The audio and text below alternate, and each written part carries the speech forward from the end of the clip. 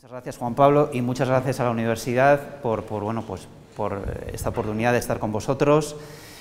Mm, me disculpáis, pero es que ha sido un, venir desde Santander, me hubiera compensado más venir en coche casi que en, avión, pero bueno, ha sido una odisea, así que disculparme, pero bueno, como habéis dicho bien antes al principio, lo bueno hay que se deja de esperar, entonces como lo bueno es esto, realmente pues, pues a por ello, ¿no?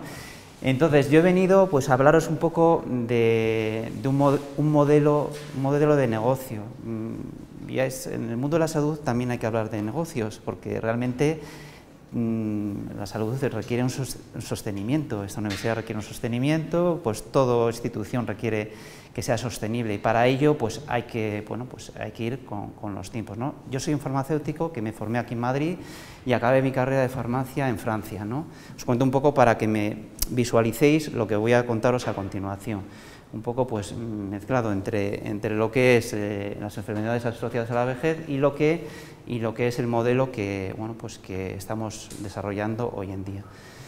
Como, os decía, yo me formé en la Universidad de Lille, allí en Francia, finalicé mis estudios, eh, pasé brevemente por el eh, Instituto Pasteur, por una de las, de las bueno, pues de los laboratorios que tienen instaurados en Francia, entre ellos en el norte de, Francia, y allí fue mi, primer contacto con el mundo de investigación, posteriormente con el mundo de la distribución y finalmente con el mundo de la industria farmacéutica, donde trabajé en una, en una empresa de biotecnología muy especializada en, todo lo que es eh, pues la cirugía ocular. ¿no? Era, el boom de la, biotecnología hace 20 años, cuando empezaron bueno, a florecer pequeñas empresas muy especializadas, en mi caso concreto era la fabricación del, del hialurónico de origen animal, pasarlo a origen sintético por modificaciones y demás. Bueno, el caso es que eso fue el punto de encuentro. Hace 14 años me vine para España eh, compré una, farmacia, compré porque con muchos sacrificios y venía con, el, con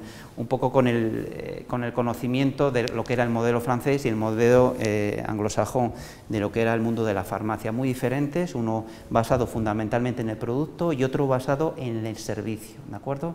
En los servicios de, salud añadidos. Bien, hace 14 años, como digo, esto me instalé en Santander, y bueno, pues a raíz de esa farmacia se fue generando pues, otros, eh, otros componentes. Una, consulta, eh, una consulta médica asociada para dar a aquellos médicos farmacéuticos eh, bueno, pues con el fin de dar esos los servicios que, bueno, pues que, que la población, el paciente estaba demandando y que bueno, pues muchas veces por regular, regulaciones no nacionales sino autonómicas pues no nos permitían hacer. Y un tercer modelo que es el mundo de Internet, que es Open Pharma, que os hablaré un poco al final para que veáis un poco cuál es el modelo. Entonces, sustentado en esas tres patas. ¿no? Bueno, pues el caso es que, eh, bueno, pues entrando un poco en, el motivo por, por, el que he venido, pues, bueno, pues hablaros un poco pues las, eh, qué es el paciente anciano en la farmacia y cómo interaccionamos con, con él. Bueno, mmm, esto hay que decirlo que hoy en día el paciente, eh, el paciente busca, mm, busca dos, o está sustentado en dos pilares sus búsquedas. Una es la medicación propiamente dicha y otra es el autocuidado de la salud. Fijaros esto que eh, históricamente en el mundo de la farmacia se fundamentaba en esto. La medicación representaba el, bueno, pues el 80, el 90, en algunos casos el 100% de su actividad actividad clásica, bueno, pues en algunos más o menos desarrollada, que era eh, dispensado el, primero el prescriptor, que, bueno, pues con el cual se, tenía, se tiene más o menos relación, el médico de cabecera fundamentalmente, porque es especialista prácticamente es inaccesible, y bueno, pues esto, y luego pues el paciente venía a retirar a su medicación sin más. Pero es que hoy en día pues hay un tipo de paciente que viene también buscando esto, el autocuidado, y me da igual la esto me da igual eh, un poco el rango de edad, me da igual el, el, bueno, pues el paciente joven, el paciente de mediana edad o el, o el paciente mayor, que los hay. De hecho, la industria farmacéutica, eh, pues bueno, pues cada vez hay mm, menos porcentaje de la industria farmacéutica que está eh, invirtiendo en investigación básica la mayoría de ellos están segregando sus líneas, es decir, está por un lado mantienen la línea de prescripción, pero por el otro lado están invirtiendo en el autocuidado. montando sociedades aparte, bueno, multinacionales y, bueno, y no tan multinacionales. Eh, es, un, es, es un tipo de ese negocio que está floreciendo y que realmente, bueno, pues eh, vosotros vais a ver, hoy vais a trabajar más a fondo eh, en, este, en esta faceta, ¿no? Entonces, bueno, pues están equilibrando, ¿no? Bien, dicho esto, mmm, esta es una palabra para mí importante, mágica, porque representa un poco el fondo de la cuestión. Realmente muchas veces te tienes que ir al fondo. ¿Qué es realmente, qué estás haciendo? ¿Qué estás haciendo en tu trabajo y qué estás eh, en, siempre de, de, manera clásica en el mundo de la farmacia?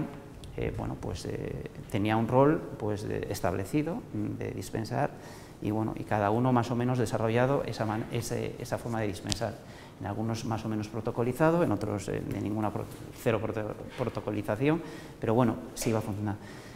Pero es que ahora mmm, eh, las nuevas formas de, hacer salud están basadas en lo que realmente la sociedad está buscando y tu negocio y tu forma de trabajar tanto a nivel de salud como a muchos niveles es el propio paciente el que te está ayudando a conformar tu propio negocio. Y esto lo, lo hablaré un poquito al final pues lo, con lo que estamos haciendo a nivel, a nivel online.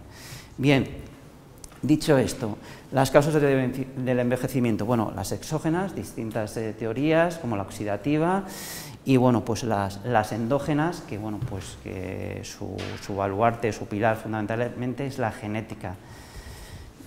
Eh, intercalando en cosas un poco teóricas, os voy a poner un poco, bueno, pues algún caso práctico para que veáis y para que veáis desde este punto de vista, desde el punto de vista de, las, de, de, la, de la, genética, qué es lo que estamos haciendo. Y esto abarca a aquellos que seáis eh, o que, que estéis estudiando farmacia, que estéis estudiando biotecnología.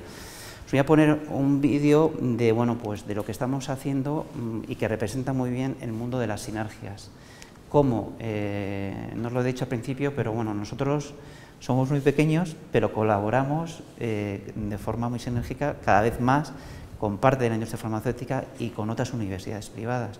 De hecho, eh, estamos ahora, os voy a contar un, caso en el mundo de la, de la genética de, lo que está, de, lo que, de un proyecto que se está haciendo a nivel nacional, en, bueno, pues con un laboratorio farmacéutico, con un laboratorio de biotecnología mmm, y luego, por, en tercer lugar, con un laboratorio de, eh, bueno, con una, con una, universidad privada que es la Universidad de Navarra. ¿no? Entonces, bueno, os voy a poner el vídeo. Juan Pablo, si no te importa. A lo mejor tienes que poner un poco alto, que no sé si...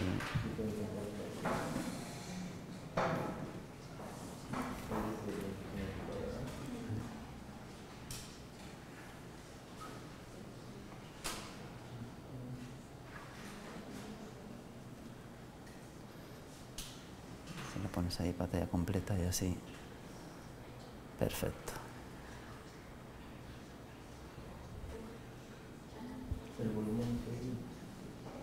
No sé, oye, no tenía que estar ya con el volumen puesto, no sé si...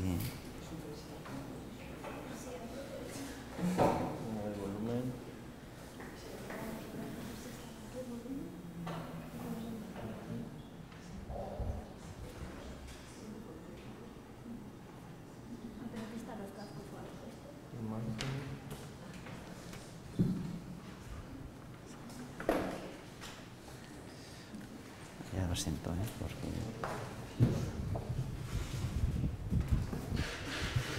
¿Será este que está con el audio a lo mejor? Sí. Vamos a ver si quitando este. No, está... ¿Está conectado el audio? ¿no? Eh, ahora sí. ¿Sí? Ahora sí está conectado.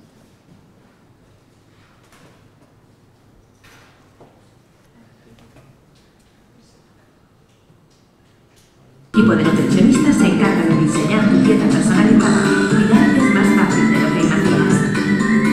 Nutricionistas te recomendarán nuevos hábitos de vida para que con una dieta sana. Vale. Aquí. Vamos a ponerlo aquí en la mitad, ¿no? Sí, y desde el principio así. Sí, del principio.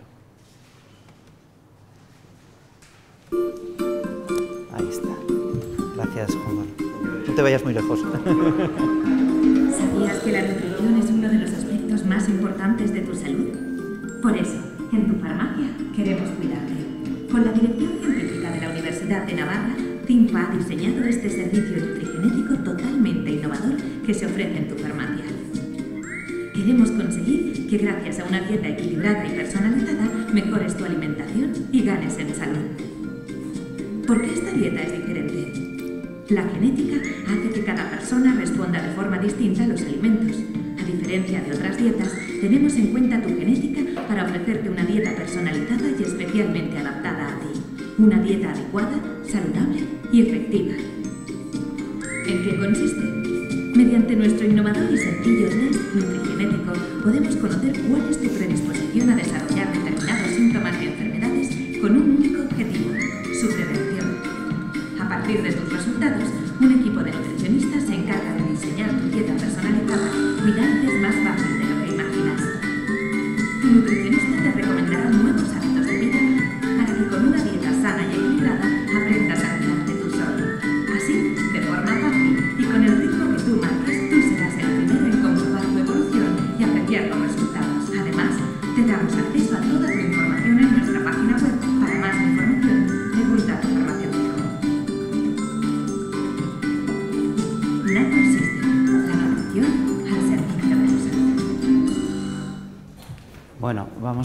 Esto, eh, el- están- este proyecto empezamos a trabajar hace un par de años, el- están involucra- involucrados, pues esto, como habéis visto, la Universidad de Navarra, desde un punto de vista científico, y ya, a la presentación directamente. Y bueno, pues esto, y desde un punto de vista farmacéutico, una, una compañía farmacéutica que fabrica, fabrica medicamentos y ahora mismo fabrica productos eh, enfocados para el autocuidado, y una empresa de biotecnología que es Progénica, que, bueno, pues que, hace todas las determinaciones genéticas que se hacen desde, desde la farmacia, mm, bueno, pues con la idea de que, eh, con la idea de que, bueno, pues que todo, mm, bueno, pues de que cuando alguien mm, pues hace una dieta, pues lo haga desde un punto de vista pues lo más científico posible. Bien, eh, muchas empresas de biotecnología, pues efectivamente ha habido un boom, pero muchas de ellas, pues esto de lo que no se habla es de que, bueno, pues de que han fracasado, algunas pues eh, se han descapitalizado, a laboratorios farmacéuticos que han invertido pues han perdido en ellas, pero otras se están reinventando y se están reinventando a corto plazo, haciendo cosas y proyectos que son, bueno, pues que son reales, son de la calle y que afectan a pacientes propiamente dicho.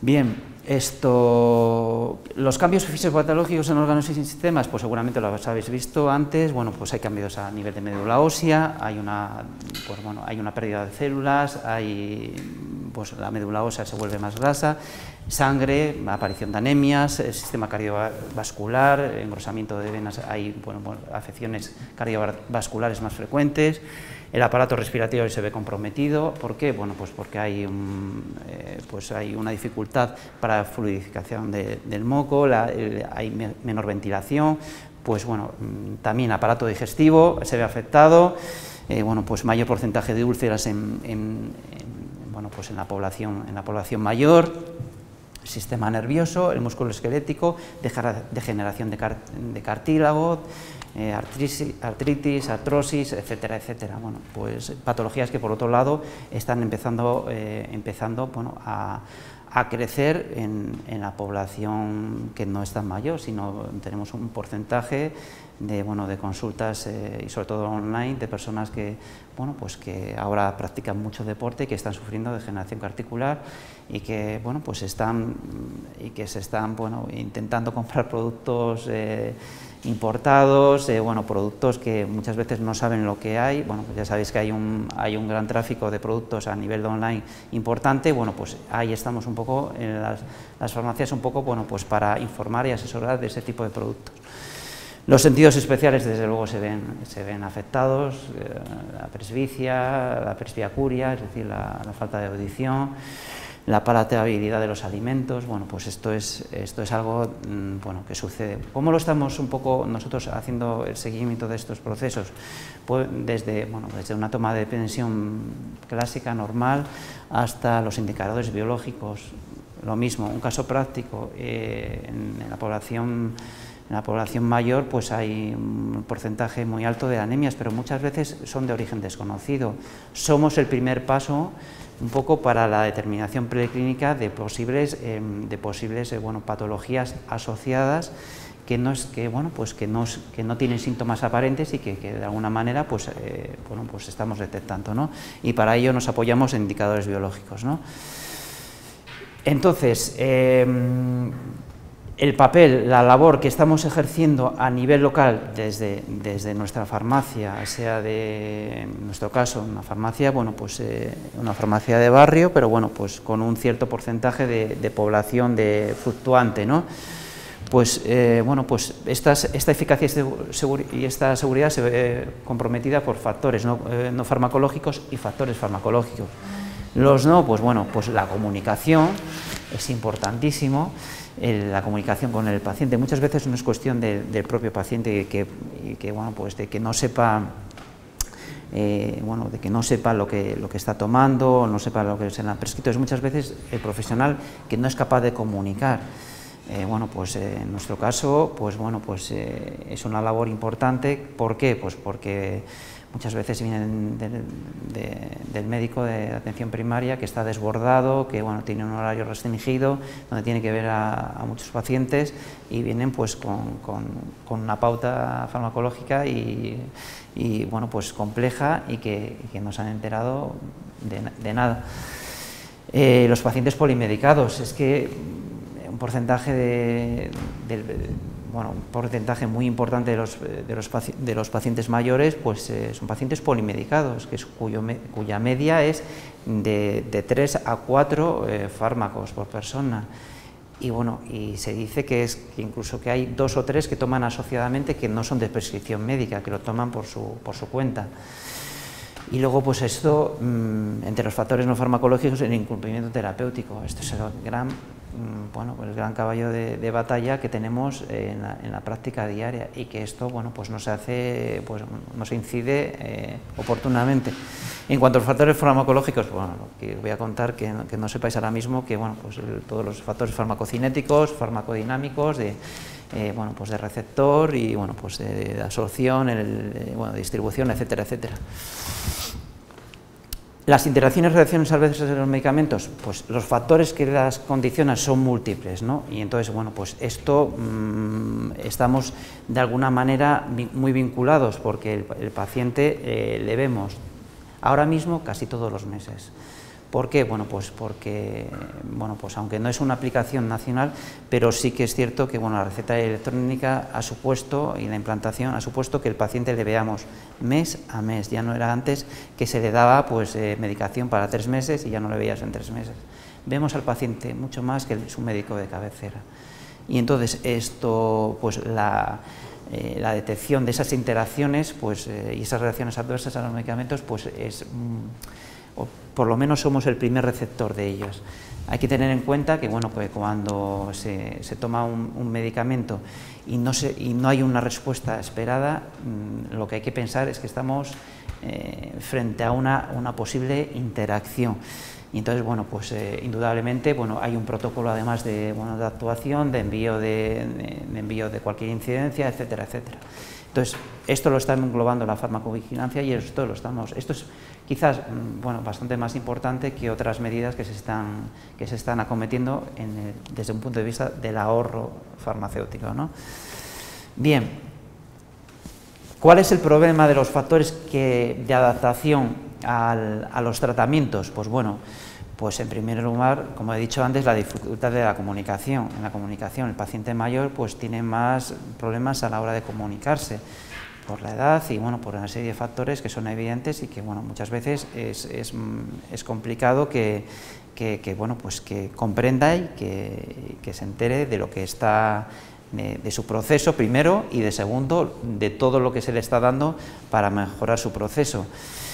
Mm, bueno, hay signos y síntomas eh, inespecíficos que, bueno, pues que que realmente muchas veces no sabes lo que, lo que le está sucediendo. Bueno, pues esto es, eh, la comparación es con el, un poco con el bebé, es decir, eh, muchas veces eh, un bebé el problema es que no es capaz de, eh, bueno, o no, es, no eres capaz de, de saber qué es lo que le está pasando, pues la persona mayor sucede muchas veces en estas, eh, estas ocasiones. Y sobre todo, bueno, pues aquellos, eh, aquellos mayores que ya empiezan con problemas de, bueno, cognitivos, es decir, bueno, pues con Alzheimer, con Parkinson, etcétera, etcétera. La incapacidad física hay muchas personas que tienen una capacidad física para adaptarse a, bueno, pues a los tratamientos. Esto es, esto es evidente y esto muchas veces mm, no se presta la suficiente atención a ellos. La polifarmacia, claro, es que eh, hay, hay- hay una cantidad de fármacos que están tomando pues que, que, bueno, pues que es complicado muchas veces su gestión. La dependencia familiar y social, indudablemente, mm, estamos viendo pacientes que tienen una dependencia familiar o que tienen un aislamiento familiar. Y esto, mm, la farmacia está siendo canal o estamos siendo, bueno, pues canal de, esa, de esa muchas veces de esa desafección y que dificulta muchas veces en los tratamientos, porque hay, una pers- hay personas que por sí mismos eh, no son capaces de llevar un tratamiento eh, eficaz y seguro y necesitan un entorno que les apoye, pero ese entorno en muchos casos falla.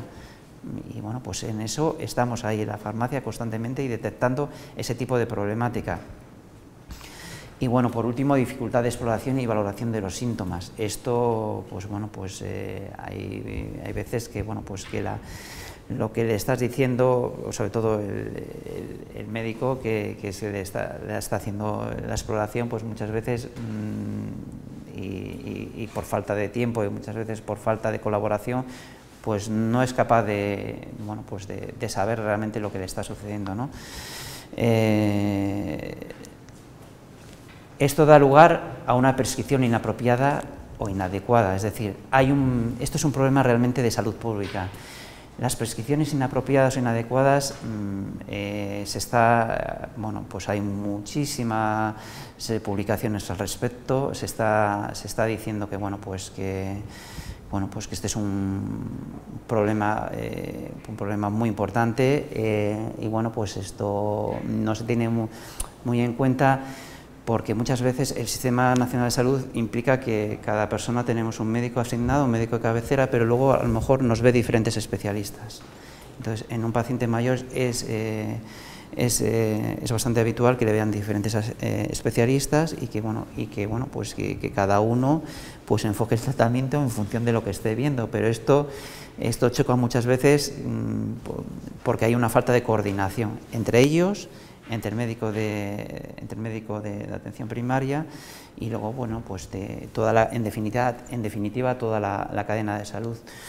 Entonces, bueno, pues mm, esto, es un, es- esto es un problema, como digo, de, de salud pública que, bueno, pues que, que en el, eh, bueno, que no se está valorando lo suficientemente y que, bueno, pues que, y que está dando a, a bastantes problemas. Hay que tener en cuenta que en, eh, en nuestro caso, mm, fijaros, hay muchas, eh, muchos pacientes que te vienen y, te están diciendo que están con un tratamiento, pero tú sabes positivamente que no están cumpliendo ese tratamiento. Les estás diciendo por activa y por pasiva, mire, eh, fulanito, eh, ¿está tomando usted adecuadamente? Hay una serie de... Hay cuestionarios, cuestionarios que, que son de...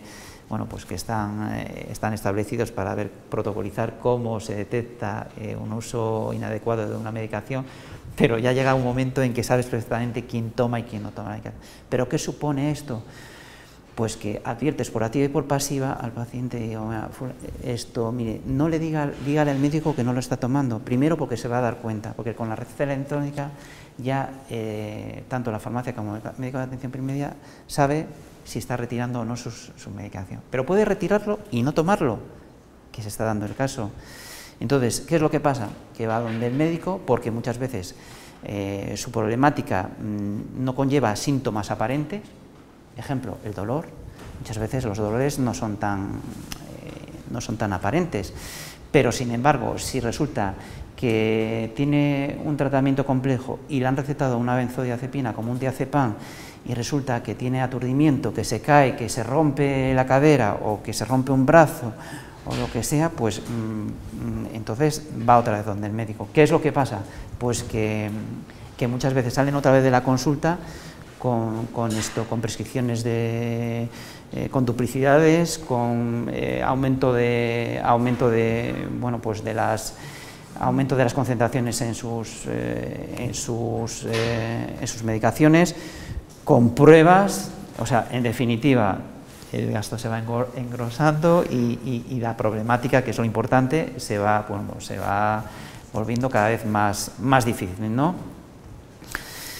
Entonces, eh, ¿cuál es nuestra finalidad al final si hablamos de lo que es la medicación propiamente dicha? Pero medicación de prescripción y medicación no de prescripción, ojo, ¿eh?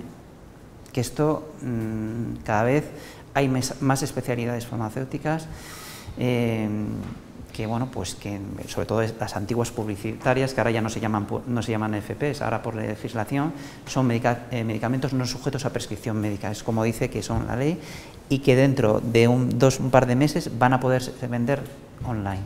Eso es un cambio importante. Es decir eh, todavía la regulación viene de Europa, hace dos años que se aprobó, un poco para eh, intentar un poco contrarrestar todo el mercado de productos farmacéuticos, bueno, farmacéuticos entre comillas, que se están vendiendo online y bueno, pues para dar acceso a los, eh, a los eh, estamentos establecidos, en nuestro caso las farmacias, a poder vender aqu- aquellos medicamentos eh, que no están sujetos a prescripción médica online bajo unas premisas, ¿no?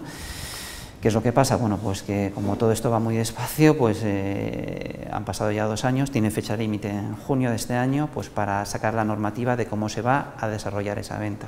O sea que hay que darse cuenta de que un paciente que está controlado puede estar por un lado tomando su medicación, sujeta a la prescripción y sujeta a su médico de cabecera, recogerla en la farmacia y por otro lado puede estar recogiendo otro tipo de medicación diferente. ¿De acuerdo? Entonces, esto, nuestra labor, pues un poquito va encaminada a, esa, a mejorar la adherencia terapéutica.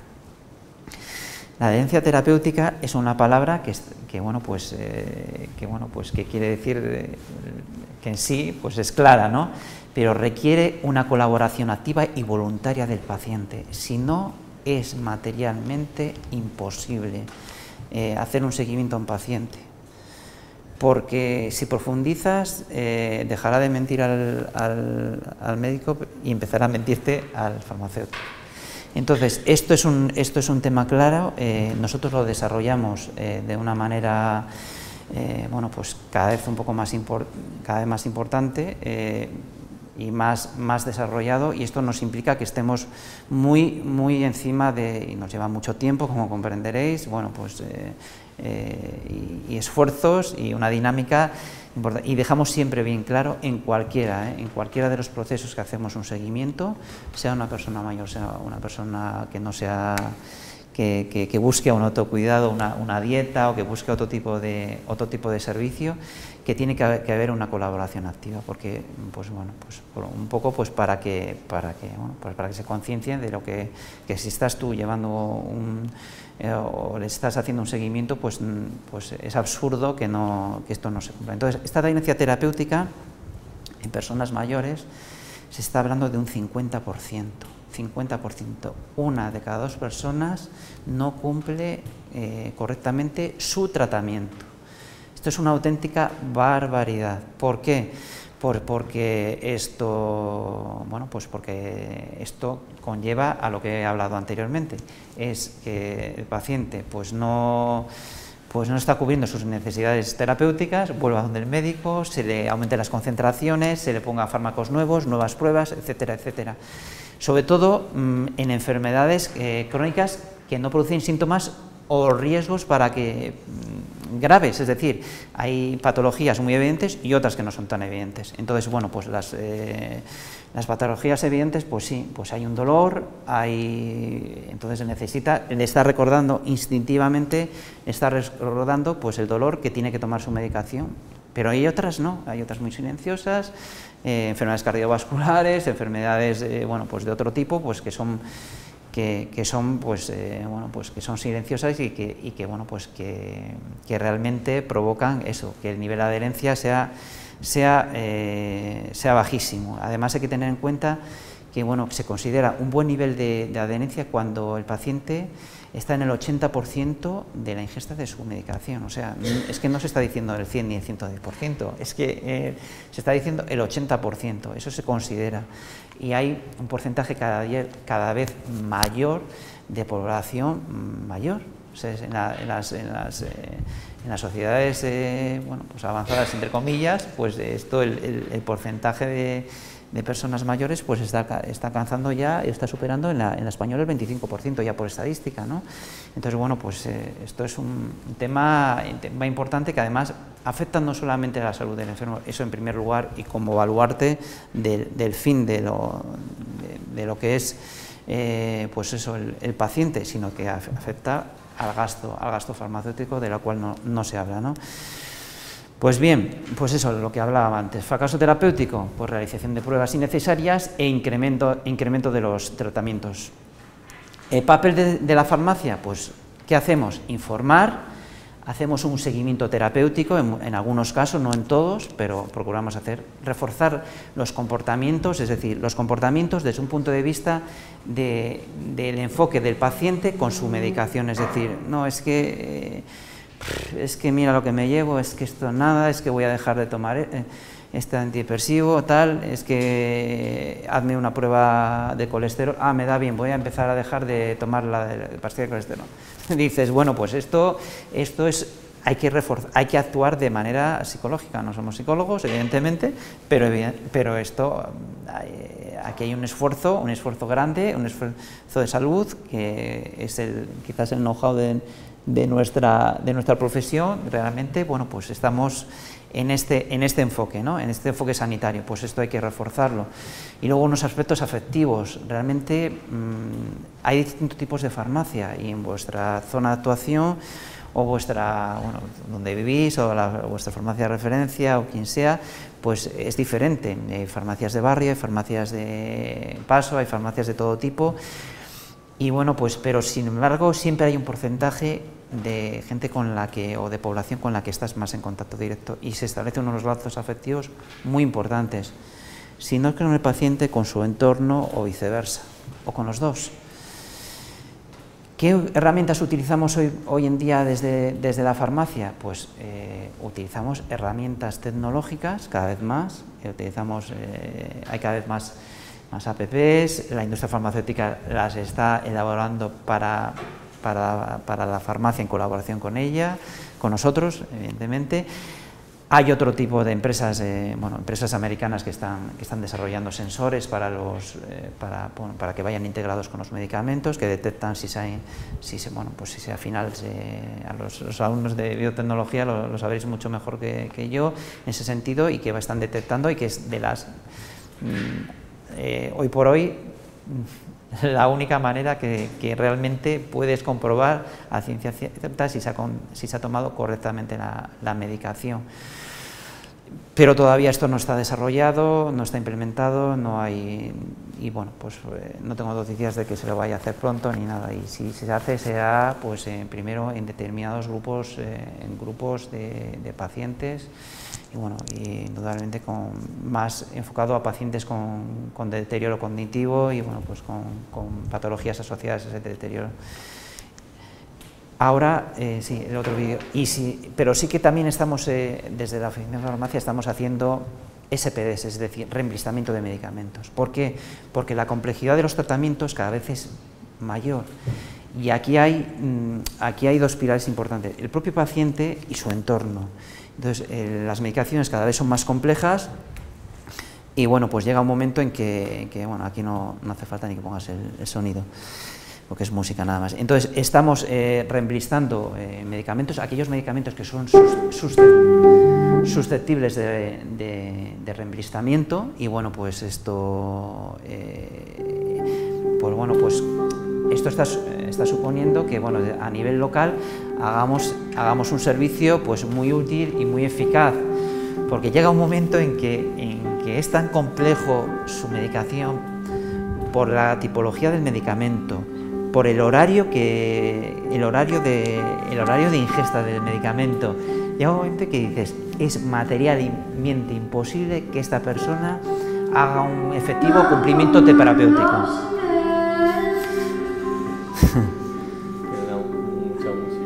Está un poco alto, sí.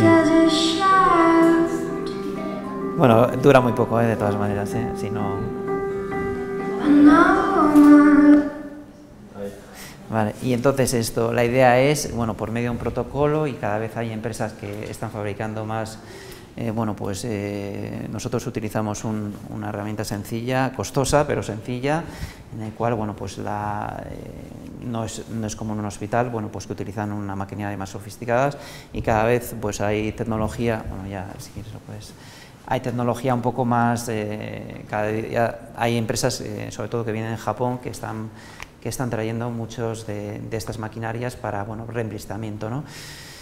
Lo que decía, la, la complejidad de la medicación cada vez, eh, cada vez es, eh, impone más el reemplistamiento. Hay, hay formas, de, formas que, no se pueden, que no se pueden pues bueno, pues eh, los- evidentemente los inhaladores, bueno, pues eh, las formas líquidas, etcétera, etcétera. Entonces, desde la farmacia, esta es una herramienta importante. ¿Qué pasa con el paciente haciendo? Y el paciente, un paciente de, Alzheimer, pues va a estar en un entorno, mm, en un- si no es en un entorno hospitalario o, o similar, va a estar en su casa con un entorno familiar, familiar o de asistentes sociales. Claro, imaginaros, mm, claro, 24 horas con un paciente de esa, pues no está una persona, está varias personas. Manejar varias personas las mismas, el tratamiento, pues es, complicado. De alguna manera estamos, estamos favoreciendo que esto, mm, eh, bueno, pues de eh, todo, toda esta, esta asistencia. Finalmente, ¿qué debe, saber el paciente al, al salir de la farmacia? Pues bueno, pues mm, esto son, son respuestas de perogrullo, pero esto es, esto es el pan nuestro de cada día y esto no lo encontramos día a día. ¿Para qué toman los de medicamentos prescritos? Hay gente que viene y no sabe para qué dan. mm, Para que, y una de las preguntas es, es básica, es decir, decirle, bueno, pues para, eh, ¿sabe para qué, para qué dan? Pues, ah, no, es que yo, pues al final eh, vas, vas viendo que no saben para qué se lo han prescrito y se lo tienes que recordar y se lo tienes que qué medicamento debe tomar, de entre todos ah, cómo tiene que tomar, la pauta posológica, etcétera, etcétera, cuándo y cómo se tomarlos, hasta, hasta y hasta y cuál es el, principio y el fin de- del tratamiento, salvo en aquellos crónicos que bueno que eso lo marca su prescriptor, ¿no? Bien, deterioro del, del- del eh, cognitivo en la farmacia. ¿Cómo lo estamos haciendo? Bueno, pues eh, esto es, lo estamos haciendo porque hay un contacto directo y sostenido en el tiempo con los pacientes. Esto es algo claro, los pacientes mm, vienen eh, con una frecuencia, con una frecuencia pues, pues alta a la farmacia, por diferentes motivos. Muchas veces vienen, son repeticiones, ¿por qué? Pues, por- porque a lo mejor no has enterado y el primer sitio de búsqueda de, de- información es a, propia, a, su, a su farmacia de referencia.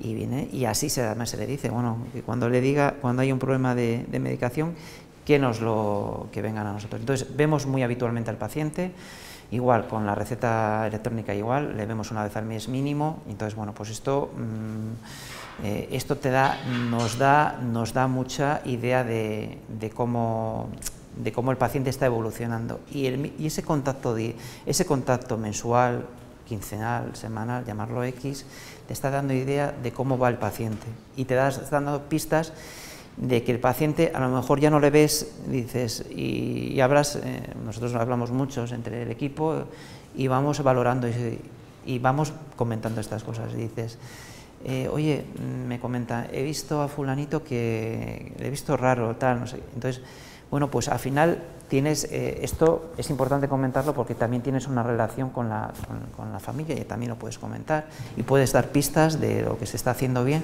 y de lo que se está haciendo mal y, un- y una detección preclínica de patologías. Es que no os podéis imaginar lo que entra y lo que entra y luego eh, las derivaciones que, que tienes que hacer al, al médico para que le vea y para que diga, mira, esto no, esto no funciona, esto es así.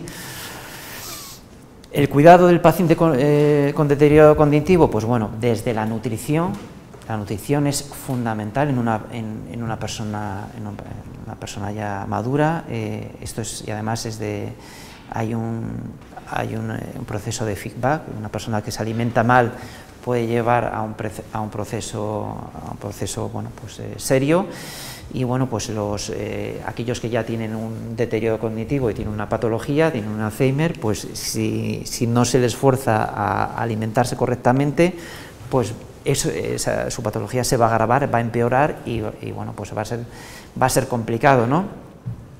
Actuamos desde un punto de vista de la formulación magistral.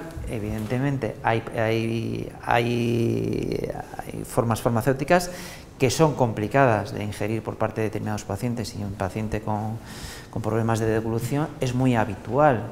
La utilización, por ejemplo, del omeprazol en forma formulada es, mm, vamos, está, es, eh, una, eh, es una forma farmacéutica que se está utilizando y que se está formulando de forma, de forma mm, individualizada. La salud bucodental, se hace mucho, mucho hincapié en la salud bu- bucodental de los, de los eh, de aquellas eh, de las personitas que empiezan desde el principio a cepillarse y a utilizar el cepillo, su pasta, etcétera, etcétera. Pero es que una persona mayor eh, ya con el uso de, con, con su salud bucodental puedes por un lado esto no agravar procesos bueno, pues que una caries eh, puede ocasionar un grave problema en una persona mayor, puedes eh, derivar, pero es que también te, puede dar- te pueden dar pistas de cómo está esa persona. Una persona dejada en su salud bucodental te está diciendo que no está haciendo bien las cosas y que hay algo ahí que no funciona correctamente. Eh, perdón, sí, efectivamente. Y luego, mm, aquí hay una pieza clave, la importancia del cuidador. Mm, aquí el cuidador desde la farmacia estamos haciendo pues una labor importantísima porque además es crucial en un, en- en- en un enfermo, en un enfermo con una, con una demencia, en, bueno pues que ya está que ya está diagnosticado, que está en pleno proceso y que necesita pues una asistencia desde un punto de vista familiar. En muchos casos, pues hay, mm, en casos, depende de la situación socio- socioeconómica, pues bueno, bueno, pues tienen sus cuidadores contratados, pero en otros casos no es así, es la propia familia quien está tirando y quien, y quien bueno, y que desde la farmacia es el único sitio donde se le está diciendo y donde se le está recomendando ciertas pautas para no caer ellos en, un proceso de, enfermedad, porque bueno, pues la, eh, bueno, pues el, el autocuidado es muy importante y, y, y- el que no se conviertan en otro paciente en otro ámbito diferente, ¿no? Bien, esto finalizando, pues bueno, pues eh, estamos en el mundo de las, de las sinergias. Yo estoy aquí un poco, pues, bueno, para explicaros un poco lo que hacemos. Como os he dicho al principio, nosotros somos una farmacia, eh, estamos en una glorieta que se llama la glorieta de los osos, por eso nos llamamos la farmacia de los osos, es en Santander, estáis invitados cuando queráis, cuando queráis ir o pasar por allí. Tenemos una consulta médico, donde médica, médica es con licencia de apertura y tal, eh, con todos, y hemos, han pasado distintos profesionales, ahora nos dedicamos mucho a la dermoestética y a la nutrición, ¿no?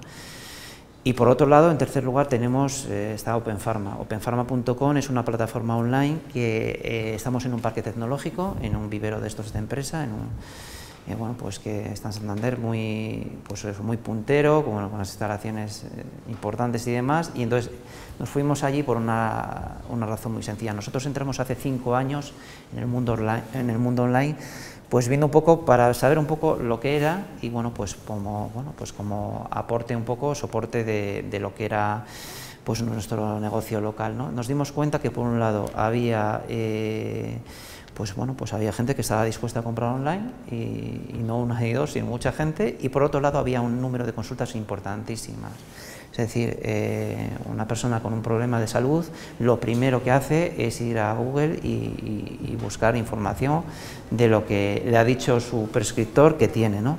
Entonces, esto nos dio una pista. Empezamos a desarrollar un, un proyecto, colaboramos en un proyecto de reserva de medicamentos, en el cual eh, pues, eh, esto, Sanidad nos nos dijo, eh, bueno, nos avaló en cuanto la, en cuanto la legalidad y en cuanto, bueno, pues al, al proyecto en sí, lo interesante, y a partir de allí, pues empezamos a hacer cosas, cosas online y sobre todo a responder consultas, ¿no? Bueno, no os podéis imaginar, esto desembocó en, el- en la creación de openfarma.com hace dos años, en el cual pues, nos, eh, nuestro modelo de negocio está basado en el asesoramiento. Somos el, el, puente, el puente entre la industria farmacéutica y el cliente final. Es decir, eh, el modelo de la industria farmacéutica está, como os he dicho antes, está está cambiando. Son muy pocas multinacionales las que se están invirtiendo en investigación básica y en el que están desarrollando nuevos fármacos. Oiréis siempre las mismas multinacionales. Cada vez siempre menos porque cada vez son menos. O sea, cada vez son menos. Esto es así. Esto es una realidad. Y las que hacen investigación a nivel biotecnológico son empresas pequeñas, asociadas, o que, bueno, pues, o que, o que por las circunstancias que sean, bueno, pues tienen una financiación X y lo consiguen y, bueno, pues van a adelante. Hay otros que, que fracasan, evidentemente. Pero esto, mm, esto ha dado lugar a que haya un mercado importantísimo en el autocuidado y esto se está manejando desde el punto de vista online. O sea, es increíble la cantidad de productos que se están importando desde, desde fuera, esto lo damos fe porque además tenemos un índice de consultas muy alto. Tenemos, a- eh, hoy en día tenemos eh, más de 4.000 visitas diarias. eh, bueno, pues eh, de- realmente no damos abasto a, a todo y desde un punto de vista, desde muchos puntos de vista, tenemos colaboradores médicos, porque claro, nosotros somos eh, farmacéuticos y nos dedicamos al producto. Pero sí que es cierto que bueno, pues, eh, hay consultas de todo tipo y en determinados ámbitos eh, todavía más. Incluso de las personas mayores. La diferencia está en que una persona mayor te ve por internet que está dando su clase y te llama por teléfono. No te chatea, no te no utiliza el Zopi, no te, haga- no te hace un Skype, pero sí que te, sí que te llama por teléfono. Oye, ¿qué se por internet? ¿Qué tal? Y, y estableces. Y esto, mm, esto es algo que no es de que no es un eh, no, no estoy descubriendo nada, pero sí que hemos profesionalizado ese acto. Es decir, eh, desde, desde una farmacia local empezamos a hacer lo que se hacía siempre, lo que se ha hecho siempre desde una farmacia, fuimos ampliando el modelo de negocio, pusimos una, consulta, una consulta para desarrollar eh, servicios, de, servicios que no nos permitía y a partir de ahí dimos el gran salto al online, que es lo que nos ha permitido bueno, pues, eh, generar el modelo, mm, el modelo que es el propio, el propio paciente el que está haciendo con nosotros el modelo online. Eso es lo que llamaba en un principio co-creación, ¿de acuerdo? O sea, eh, como veréis, bueno, pues mm, hay cosas muy diferentes. Desde el mundo de las sinergias, además, ¿eh? Os estoy hablando que, bueno, desde, un- desde una plataforma muy pequeñita como es la nuestra, pues nos relacionamos eh, hoy en día con tres universidades, hacemos proyectos con la industria farmacéutica, hacemos proyectos con empresas de biotecnología, y bueno, pues esto, esto realmente es un campo que, bueno, pues mm, esto no es la generalidad, evidentemente, pero sí que, te, sí que está dando o se están marcando pautas de, bueno, de, actuaciones futuras y de lo que va a ser el futuro. Entonces, bueno, por último os quiero poner una cita de, alguien que, bueno, pues para mí es un referente porque lo utilizamos mucho. Edwin Lam es el descubridor de la luz polarizada.